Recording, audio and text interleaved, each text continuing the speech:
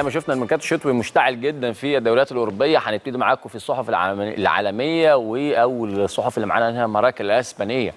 اللي اهتمت بعمل حوار مطول مع الفرنسي انطوان جريزمان واللي قال حين انتهيت من كل شيء وتم التعاقد مع برشلونة اتصلت بوالدي وبكيت من الفرحة.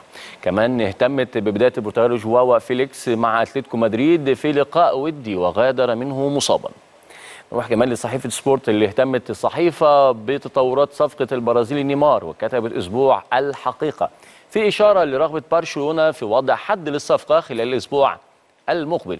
وأشارت صحيفة سبورت إن مفاوضات برشلونة مع نيمار مستمرة رغم النفي من إدارة باريس سان جيرمان لسه مع الصحف الإسبانية وصحيفة الاس اللي ركزت على الصحيفه على صفقة الفرنسي بول بوجبا وأكدت إن ريال مدريد يملك خطة محكمة للتعاقد مع بوجبا وفي حال فشل التعاقد مع الصفقة فإن ريال مدريد يضع في الحسابات لاعبين آخرين لتعويض صفقة بوجبا في حال فشلها.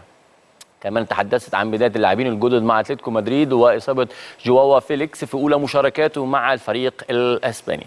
ننتقل من الصحف الإسبانية للصحف الإيطالية وكوريري ديلو ديلو سبورت اللي اهتمت الصحيفة بتصريحات المدير الفني ليوفنتوس ساري عن كريستيانو رونالدو نجم الفريق الذي سيبدأ كجناح أيسر وليس كقلب هجوم. كما تحدثت الصحيفة عن البلجيكي لوكاكو وأخبار انتقاله للإنتر ميلان.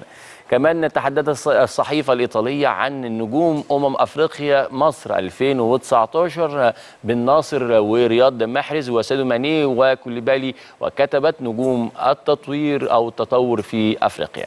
في إشارة من الصحيفة إلى المستوى المميز اللي ظهر عليه هؤلاء اللاعبين في الكان الأفريقي بمصر 2019 لسه مكملين معاكم في الصحف الإيطالية توتو سبورت اللي أكدت اهتمام بتصريحات ديليخت حول أسباب تفضيله للفريق الإيطالي يوفنتوس على حساب برشلونة وكتبت أردت فقط اللعب لليوفنتوس. وكمان كده يكون آخر الأخبار الموجودة معانا في أخبارنا العالمية وجولتنا في الصحف العالمية.